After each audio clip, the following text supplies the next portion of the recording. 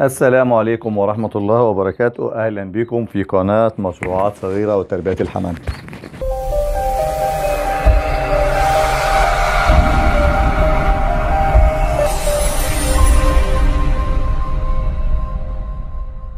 الموضوع النهاردة زي ما إحنا متعودين الموضوع اليومي اللي هو متابعة الزغاليل.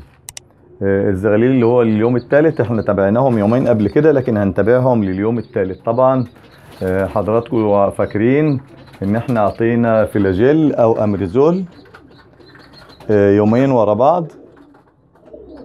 فلاجيل أو امريزول بنعطي يومين ورا بعض فإحنا هنأتي النهارده اليوم الثالث. لكن قبل ما نبدأ النهارده موضوع النهارده أعمل لايك علشان أنا معايا البيضة دي. البيضة دي اللي هتفقس هوريكم هنعمل فيها إيه. طيب على بال ما تعمل لايك أنا معايا هوريه حضراتكم. البيضة وهي ناقره كده. أهي. الزغلول بيفقس. خلاص باقي عليه مثلا نقول عليه بكرة إن شاء الله ونشوفه ونوريه لكم وهو زغلول. ممكن ما يبقاش بكرة ممكن يبقى بعده لكن هو لسه بادئ ينقر. طيب أنا بعمل إيه لما بلاقي البيضة ناقره كده؟ طيب أنا بعمل إيه؟ أنا معايا بجيب مية دافية. عموما برش البيض بالمية. ما بقشرش البيضه يا جماعة زي معظم المربين ما بيعملوا. أنا برش البيض زي المزارع ما بتعمل في الفقاسة. أنا برشها كده مع المية دافية أهي. تخافش من يقول لك بل البيضة. لا أنا رشيت البيضه أهو بس مية دافية. ولو ما فيش مية دافية إحنا في الصيف يعني هترشها من تحت الحنفية. من مية الحنفية مفيش مشكلة. تمام؟ بليت البيضة. ولو طلعت تاني في وقت تاني كام ساعة كده ولقيتها برضو لسه ما فقستش ابلها مية تاني أرشها مية تاني. آه، طيب أرجع البيضة تحت الحمام ونرجع نبدأ آه، موضوع الزغاليل بتاعتنا على بال ما تكون حطيت ال like. طيب ليه أنا رشيت ال- البيضة كده؟ علشان أساعد. ألين قشرة البيض وأساعد الزغلول إن هو يفقس بدل ما أفتح البيضة وأقشرها. ده تجنبا للي هو موضوع اللي هو كبس الزغلول في البيضة اللي هو الزغلول بيموت وهو بيفقس. طيب هنبدأ اليوم الثالث والأخير من إعطاء الفلاجيل. نعطيهم الفلاجيل بسرعة هنعطيهم المرة دي قبل الأكل. هو يستحسن طبعا هترج الإزازة يستحسن إن أنت تأتي آه، آه، من غير أكل. تماما؟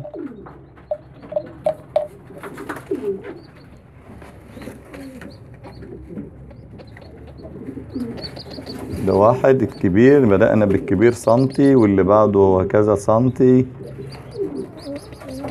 اشتغل على الكبير الأول. هو طبعا يا جماعة هي الزغاليل مستنية الأكل. مستنية إن أنا أأكلها الزغاليل اتعودوا عليا علشان أنا بأكلهم بقالي كذا يوم.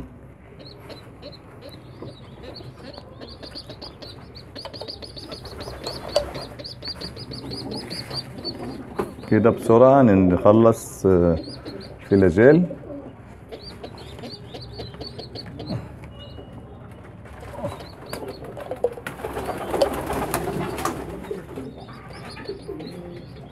ده يعتبر آه، خد امبارح بس.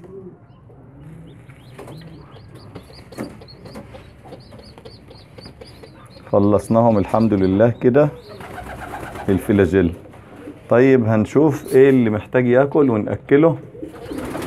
نبدأ برضو بالإيه؟ بأصغر زغاليل هنستخدم الخرطوم ده.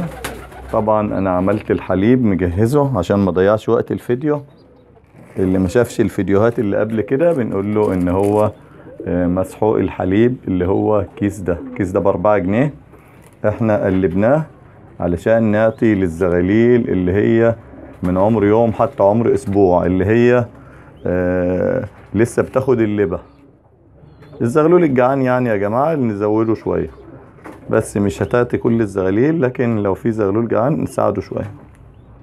ده كويس مش محتاج الحمد لله. وده كمان كويس بس حاول نسقيه شوية.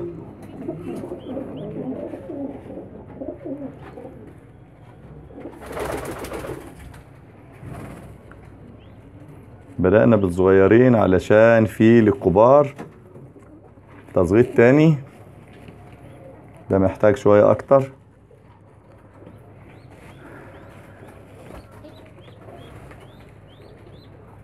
نعطيه أكتر.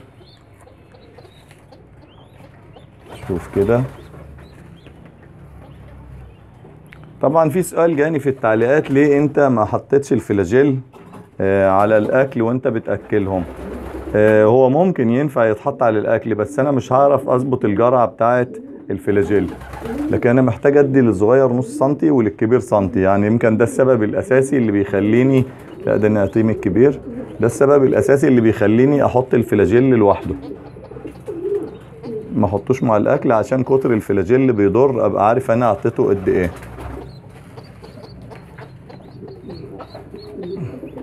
شوف الزغاليل جعانه يا جماعة إزاي محتاجة إن أنا اكلها ده التسغيط الز- ال- الحمام الكبير في الصيف بيكون ضعيف شوية عن الشتاء لأن الحمام بيشرب مية أكتر ما بياكل.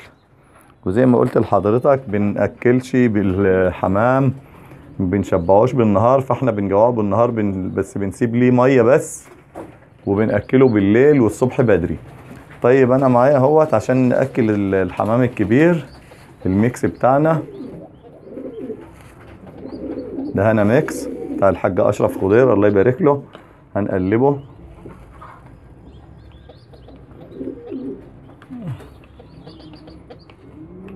طيب قبل ما نقلب الهنا mix هنشوف معانا الجروفيت بلس. هنقتل ليه الجروفيت بلس؟ أنا أعطيته أول يوم. هو إحنا فعلا الزغاليل محتاجاه دايما مع التصغيط والحمام محتاجه عشان يدي ولاده في الأيام لما يكون معاها زغاليل عشان موضوع الريش ده.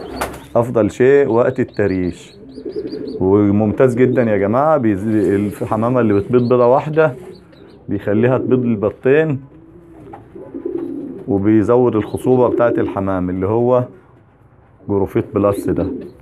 هنحط نقطتين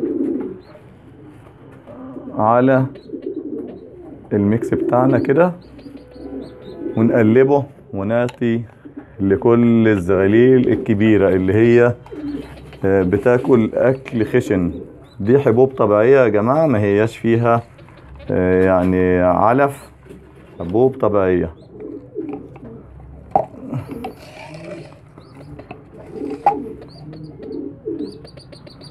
قلبها. بعد ما قلبنا الميكس بتاعنا نبدأ ندي للزغاليل الكبيرة. طبعا كل مرة بتقلبه كده قبل ما تسحب منه علشان آه، يم- المية ما تبقاش الماء على الوش ويركز المسحوق. أهو شوف الزغلول جعان ما شاء الله جعان جعان يعني جاع. أهو نديله اللي هو محتاجه. كل زغلول على قد ما هو محتاج. أنا عارف يا جماعة إن هو الموضوع يعني فيه شغل. هو فيه شغل للي مش متعود بس اللي غاوي هيبقى بالنسبة له متعة. أنا بستمتع وأنا بساعد الزغاليل وبأكلها يا جماعة يعني مش مش متضايق من حاجة. لازم تكون أنت حابب الموضوع. علشان ت إيه؟ تفرخ زغاليل كويسة. شوف بسم الله ما شاء الله الزغلول اما ساعدناه أول أيام يمكن ده كان ضعيف جدا أضعف من الزغلول ده. برضه هنعطيله شوية. ونعطي كل اللي محتاج من. من الزغاليل الكبيرة دي. إحنا بنعملهم زي ما قلنا مرة واحدة في اليوم ونرجعهم لأهاليهم. طبعا الكبير بس اللي بياخد ال- المسحوق الخشن ده لأن ده مسحوق حبوب. هو صغير برضه هو من عمر يوم اللي هو بتاع هنا ميكس ده.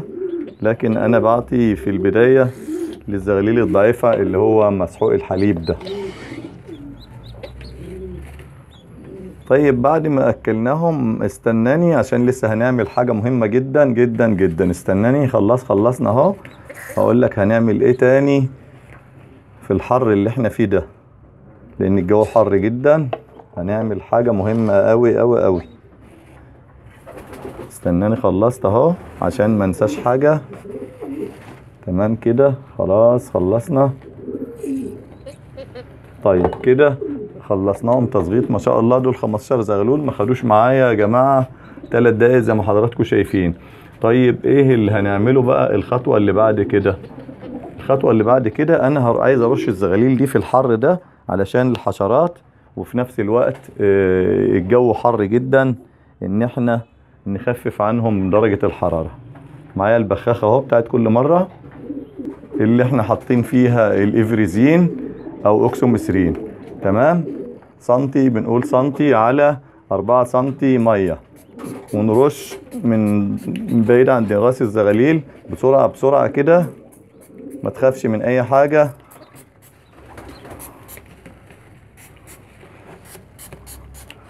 في نفس الوقت بنبرد الزغاليل شوية درجة حرارتها وما يبقاش فيها أي حشرات. منعا للجدري يا جماعة تمنع الحشرات تمنع الجدري. بسم الله ما شاء الله الزغاليل. مفيش فيها حباية مفيش فيه حباية جدري. بسم الله ما شاء الله أهو.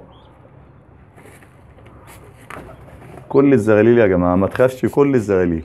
صغير وكبير أهو.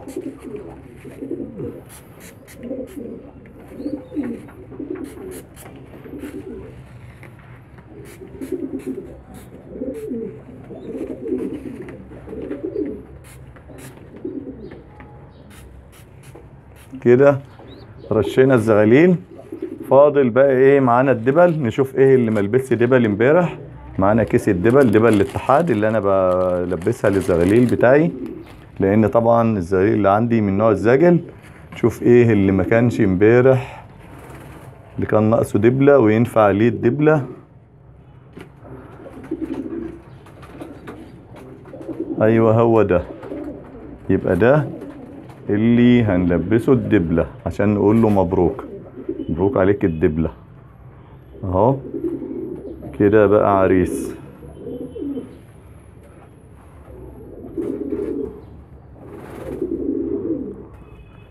هو في السن ده يا جماعة؟ أفضل سن. اللي نعرف تلبس فيه الدبلة.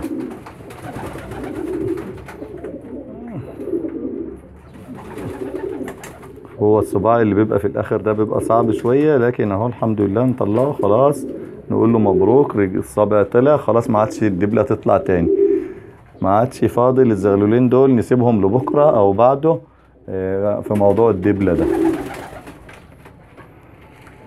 وبكده يكون خلصنا موضوع النهارده اليوم الثالث من متابعة الزغاليل آه، استنانا بكرة مهم جدا علشان هنعطي الخميرة للزغاليل الخميرة مهمة جدا يا جماعة للزغاليل آه، الخميرة ليه هنعطي خميرة؟ لأن إحنا عطينا 3 أيام فلاجيل والفلاجيل زي ما قلنا قبل كده بيقتل كل البكتيريا.